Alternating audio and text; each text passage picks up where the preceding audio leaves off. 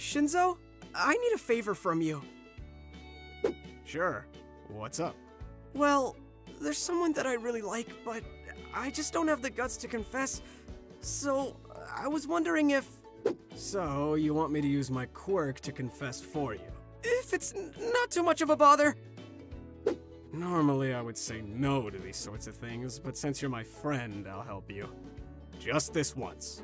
Shinsou, thank you! One more thing. Could you also command me to pass out right after the confession? I I don't want to live through the rejection. Um, sure, I guess. Okay, ready? Y- yeah! There. Now you should be able to. I like you, Shinsou. what? Shinsou is a very kind and passionate person. I admire his persistence no matter what others tell him. I'm positive he'll make a great hero anyone's ever seen. Izuku. Ah. Izuku! I didn't know it was gonna be me. I was gonna put a freaking mattress under him.